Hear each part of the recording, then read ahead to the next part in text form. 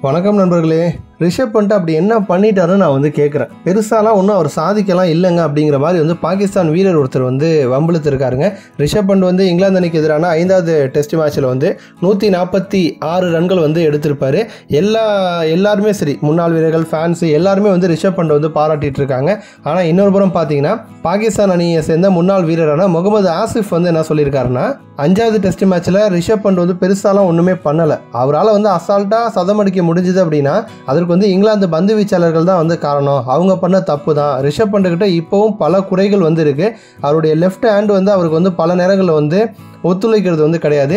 இருந்துமே வந்து ரிஷப் பண்ட் வந்து சதம் அடிச்சிருக்காரு அப்படின்னா ரிஷப் பண்டால் அடிக்க முடியாத இடத்துல இங்கிலாந்து பந்து வீச்சாளர்கள் வந்து பால் போடலை. ஸோ பெருசாக வந்து ஒரு அட்டாக் பண்ணுற மாதிரி ஒரு பவுலிங்கை வந்து இங்கிலாந்து பந்து வீச்சாளர்கள் வந்து பந்து வீசலை. ஸோ அதனால் வந்து பண்ட்டு சதம் அடித்தார்னா அதுக்கு காரணம் அவர் கிடையாது. இங்கிலாந்து பவுலர்ஸ் தான் அப்படிங்கிற மாதிரி வந்து ஆசிஃப் வந்து அவருடைய கருத்தை தெரிவிச்சிருக்காரு. நன்றி.